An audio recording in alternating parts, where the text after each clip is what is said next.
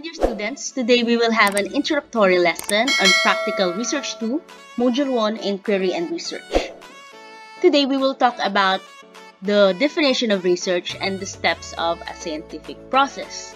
This will be a kind of review for all of you since you already have this in your Practical Research 1. So let's start. First, we have the definition of research. So what is research? Research is getting knowledge about the things you want to know and learning from all possible sources such as from a friend, an expert to media sources, using a scientific process for the discovery of truth or even invention and development of existing products. From this definition, we will see our keywords that research should be getting knowledge from all possible sources using a scientific process. So, yung research pala, hindi siya basta-bastang pagbabasa lang, pagsusulat lang. It should be getting knowledge from the things you're, that you are interested with from all possible sources, meaning kukuha ka ng mga information from the people who are experts or from the people who have knowledge about your topic and this research should follow a scientific process.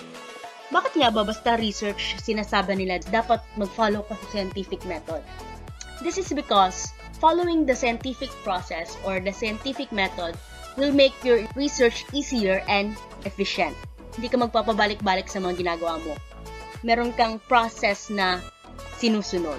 Kasi pag di, mo, di ka nag-follow sa scientific process, there's a big possibility na babalik ka sa simula kasi meron kang mga process na skinip. So that is the importance of scientific method. So what are the steps in scientific method? Here we have the observation, identifying the problem, making hypothesis, experimentation or data gathering, data analysis, and making conclusion. So observation meaning in order to get knowledge, you need to observe what are the things that are existing in your community or what are the things that you can observe using your five senses. Next, if you are done with the observation in your community, you will identify what is the problem. Ano yung mga problem na nag exist after my observation? Bakit may ganito? Paano to isosolve? So next, we have the hypothesis. Hypothesis is making a prediction on what will happen if you do a certain thing. So it is like a guess or a prediction on what you should do and those hypotheses or these hypotheses will be used in the experimentation. Ite-test mo, mag experiment ka kung tama ba yung prediction mo. Then after the experimentation, the data that you have will be analyzed. Then after your analysis, you will make a conclusion whether your hypothesis is correct or not correct. Here, I have a simple example. Suppose that after hours of using your phone, it went out of battery and now it won't charge. We have our first step which is the observation. Now, after this observation, you will question yourself, why won't my phone charge? Bakit ayaw mag-charge ng phone ko? So, because of that question, you will make your problem. Ah, baka ayaw mag-charge ng phone ko kasi sira yung outlet. So because you know the problem, which is the outlet is maybe broken, you will have your hypothesis or the prediction.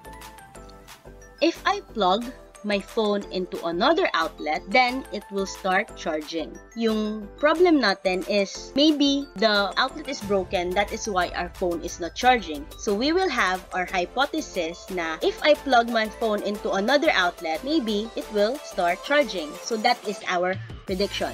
After our hypothesis, we will go to the test your hypothesis or experimentation. Now, experimented and plug your phone into a different outlet and try if it works.